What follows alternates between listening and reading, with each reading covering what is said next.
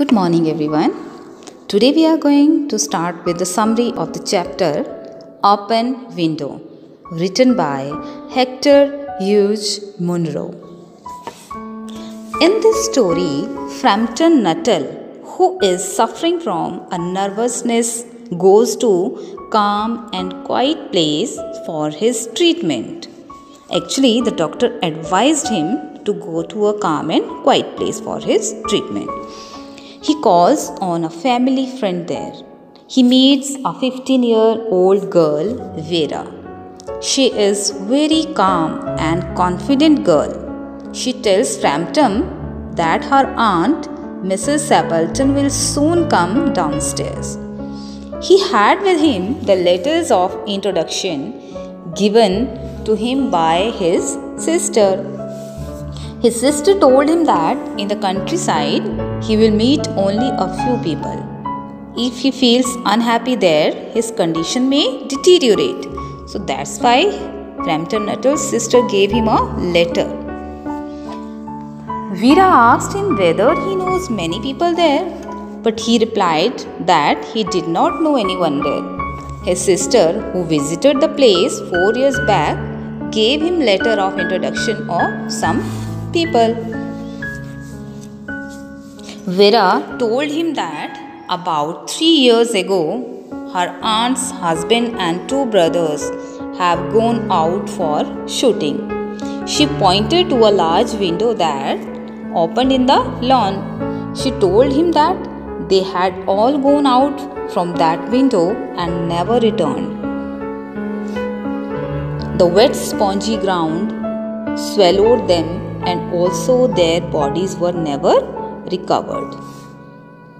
She further said that Mrs. Sappleton always keeps this window open until it darks in the hope that they would come back someday.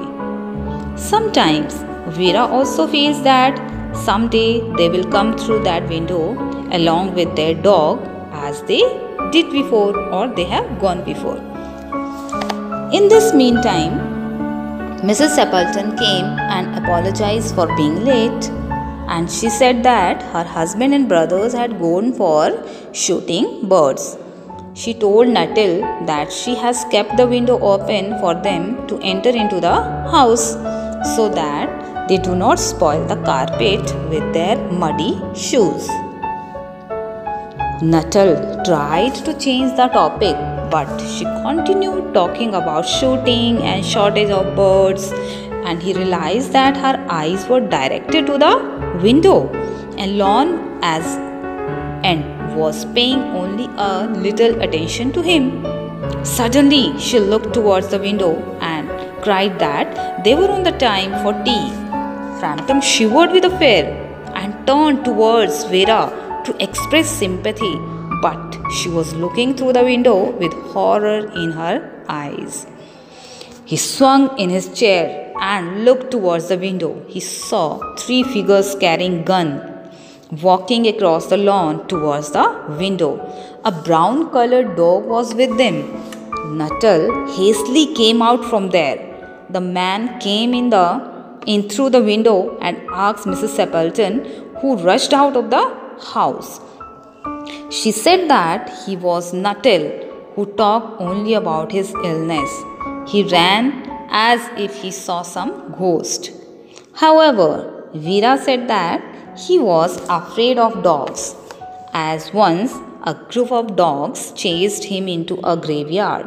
He spent a night in a newly dug grave and dogs growling all around him. That's all. I hope you have got or understood the summary of the chapter. Thank you.